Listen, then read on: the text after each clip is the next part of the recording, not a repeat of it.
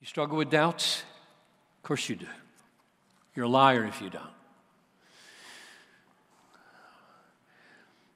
Everybody walks through seasons of greater or lesser shaking.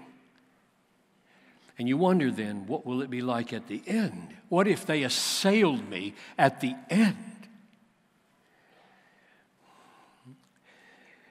You did not receive the spirit of slavery to fall back into fear, but you have received the spirit of sonship.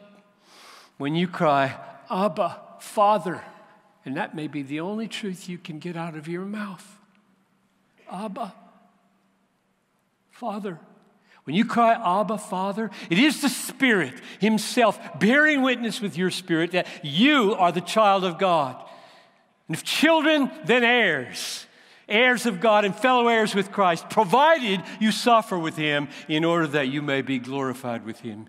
The work of the Holy Spirit in the hour of trial is to preserve you from faith destroying doubt and to give you the sweet gift of assurance.